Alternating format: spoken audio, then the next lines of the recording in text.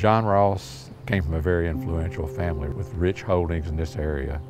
He was able to not only be educated through the grammar school and the high school, he was a college graduate. Uh, he was able to go to Washington, D.C. and sit right in with the Congress up there and the likes of Andrew Jackson, people like that, and fight for the Indian rights. He fought as long as he could. He was actually put out of his own house when he came back from a trip to Washington. At that time, he had moved to Rome, Georgia, but when he came back from Washington, one of those trips, right before the removal, he was met at the door by a family said, you can't come in here, you don't own this house anymore. That's the way it went. The Cherokees were treated terribly. They had no rights whatsoever. And John Ross really fought hard against that fact. Up until 1830, of course, Andrew Jackson, you know, he had been elected president. The state of Georgia was pushing him to have the Indians removed like they were promised in 1802. Andrew Jackson realized that he could not violate the Constitution by removing them without federal law saying that he could do it.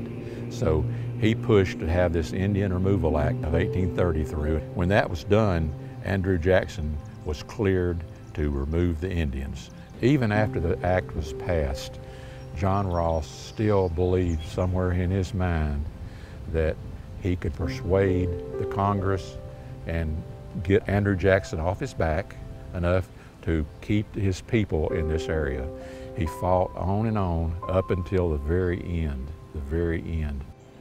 They went virtually house to house uh, on into the area here and everybody they found working in the fields, fishing, sitting on their front porch, cooking their dinner, whatever, they removed them physically from their premises, allowed them to take minor things with them. No animals probably took everything they had more or less just away from them and removed them from their houses and rounded them up, put them in stockades around the area, various stockades, and eventually they marched them all to Oklahoma.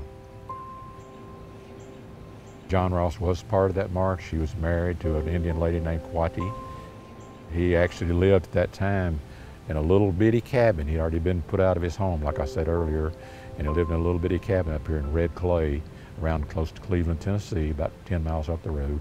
But he was rounded up just like everybody else, and he went with his people, and his wife died on the trip and is buried in Little Rock, Arkansas.